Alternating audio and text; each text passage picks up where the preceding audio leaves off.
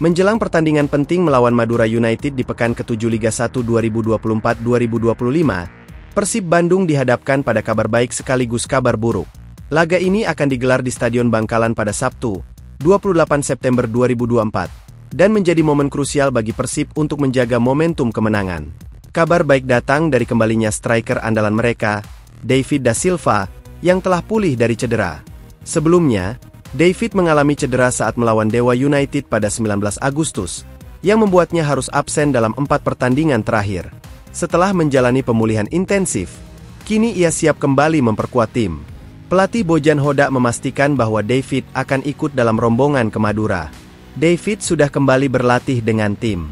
Mungkin dia akan ikut serta ke Madura, tapi kita akan lihat sejauh mana saya bisa mendorongnya untuk bermain, ujar Bojan Hoda. Namun, Kabar buruk menghampiri Persib dengan absennya gelandang andalan mereka, Mark Klok. Ia harus absen setelah menerima kartu merah langsung dalam kemenangan 2-0 atas Persija Jakarta di laga sebelumnya. Kehilangan Klok tentu menjadi tantangan bagi Persib. Namun mereka masih memiliki pilihan pemain lain di lini tengah. Persib sangat membutuhkan kemenangan dalam laga ini untuk terus menempel ketat Persebaya yang berada di puncak klasemen. Saat ini, Persib berada di posisi ketiga dengan 12 poin, terpaut 4 poin dari Persebaya. Kembalinya David Da Silva diharapkan mampu memberikan dorongan tambahan bagi tim untuk meraih hasil maksimal dan mendekatkan diri ke posisi teratas.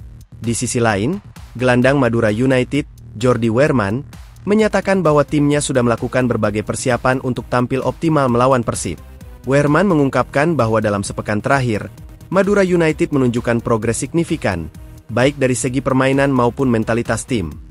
Kami telah melalui minggu yang bagus dengan latihan yang intens. Energi di dalam tim ini sangat positif.